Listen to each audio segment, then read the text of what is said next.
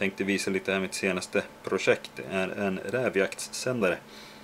Den drivs av en Arduino och eh, en display som visar vad man håller på med och en liten realtidsklocka här.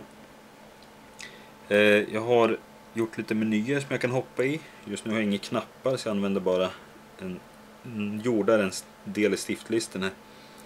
Eh, jag kan hoppa, hoppa runt i menyerna. Jag kan eh, bland annat ställa vilken hastighet som morsen ska sändas. Och eh, genom att göra en lång tryckning så kommer jag in i konfigurationsmenyn och kan stega mig olika hastigheter uppåt och neråt. Och genom att göra en till lång tryckning så hoppar jag ut ur konfigurationsmenyn.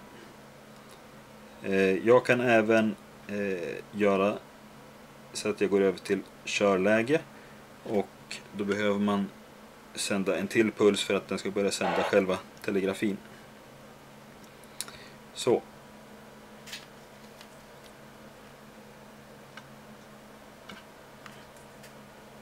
Och eh, just nu är det bara en, eh, en LED som blinkar här på, på kortet. Och displayen blir svart. Jag håller precis på med det. Eh, den ska sedan kopplas till den här lilla sändaren med en kristall bara på, en fast frekvens. Den vänstra delen här är själva sändaren och den högra är ett filter.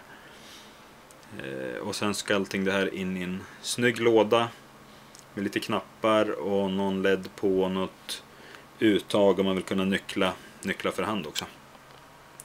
Så jag kodar vidare. Ska se. Koden är på ungefär 600 rader just nu.